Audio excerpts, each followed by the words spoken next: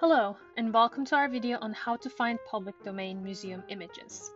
To learn more about why you should be using public domain images, refer to our fourth blog post in the Digging Digital Museum Collection series and to the resource 3 Essentials in Museum Collections Research. In this video, we will focus on finding public domain, copyright-free museum images that you can use for your research papers, teaching materials, and social media content. There are several different Creative Commons licenses. The Creative Commons license CC0 explicitly dedicates an otherwise copyrightable work into the public domain. Many museums have made or strive to make their collections available online with high definition images. The Getty, for example, launched their Open Content program back in 2013 and made most of their images available under public domain. Let's go to the collection search on the Getty website. If you need more instructions on how to do this, watch our previous video in this series. Once you are in the object page, below the images you can see that this object's images are under no copyright for the United States. Remember that copyright laws are different in every country, so make sure to check the copyright laws where you are. You can view objects with public domain images on the Getty collection search by selecting the Open Content option. Again, make sure to double check the license before you download the images. The Metropolitan Museum of Art also made their images available under public domain or CC0 in 2017. But don't assume every object or artwork you find in the Met Museum websites will be public domain. The object pages in the Met collection will tell us whether it's under public domain or has other copyrights.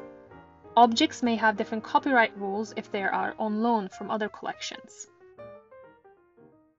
Unlike ancient objects, artworks by contemporary artists or artworks whose artists we know may have strict copyright rules.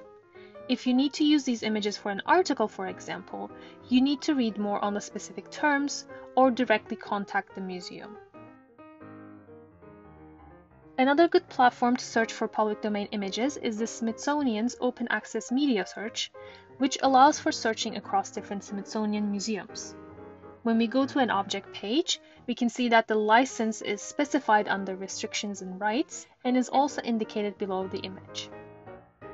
Attribution non-commercial share-alike licenses are also commonly used for museum images taken by individuals.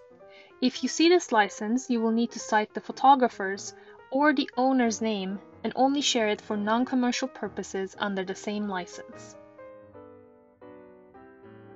For example, this image of the day on Wikimedia Commons is under Attribution Non-Commercial Share Alike license. Wikimedia Commons is often a good place to find public domain images. However, one needs to be diligent and careful using Wikimedia images. Let me explain why. Here I'm searching for a coin issued by Alexander the Great. Let's pick this one. When I go to the permission information, I see that it says this image is in the public domain due to its age. Ancient object images can be exempt from licenses because of their age. But when using a museum image from Wikimedia Commons, it is always a good idea to double check on the museum's website.